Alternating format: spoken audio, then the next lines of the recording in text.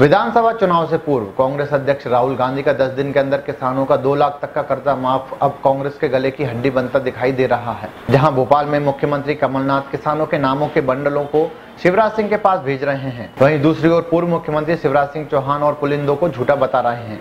किसानों को मुद्दों को लेकर जहाँ भोपाल में घमासान मचा हुआ है, वहीं जमीनी स्तर पर भी स्थिति कांग्रेस के लिए सुखद नहीं है। जगह जगह कांग्रेस के नेताओं को किसानों का भारी विरोध का सामना करना पड़ रहा है। ऐसा ही हुआ मध्य प्रदेश की गुना लोकसभा में, जब कांग्रेस के महासचिव और पश्चिम उत्तर प्रदेश के प्रभारी ज्योतिरादित्य सिंधिया को सरेआम अपने मतदाताओं के सामने दबंगई का सहारा लेना पड़ा। मामला उस समय का है जब सिंधिया जनसभाओं को संबोधित करते हुए गुना लोकसभा के गाँव करोद पहुँचे थे और वहाँ जब सभा चल रही थी, तब एक किसान ने अपने सांसद ज्योतिरादित्य सिंधिया के सामने अपने कर्ज माफ़ी को झूठा बताया। अपने घर पर पुलिस द्वारा बार बार चक्कर लगाने को लेकर भरी सभा में सरेआम ज्योतिरादित्य सिंधिया से कर्ज माफ़ी के झूठ को लेकर जवाब मांगा। किसान के ऊपर होते ही कांग्रेस के पदाधिकारी और कार्यकर्ता उस किसान पर आक्रामक हो गए। किसान को ज़बरदस्ती धक्का देकर सिंधिया के पास ले गए। साथ ही ज्योतिरादित्य सिंधिया ने बलपूर्वक उस किसान को चुप कर बैठाने की कोशिश भी की।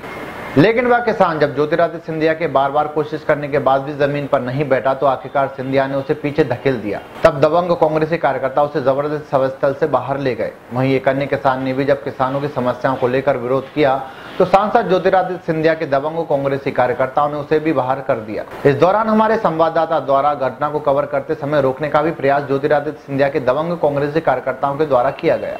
वो कहाँ से गई, वो बताओ ना। आज जो देश का चुनाव है मैं आपको बताना चाहता हूँ कि ये चुनाव आम जनता का चुनाव है ये चुनाव हमारा चुनाव नहीं है ये हमारे बच्चों का चुनाव है हमें किसान आ गए महाराज श्रीमान सिंधिया श्रीमान सिंधिया तो सही यार नीचे पहले बैठो मेरे पास बैठो, चलो। जब मैं मौका दूँगा तब बोलो। मंच पर आसी मंच पर आसी मेरे साथ यहाँ नीरज निगम जी। एक मिनट एक मिनट। मौका मैं तुमको दूँगा, तुम बोलना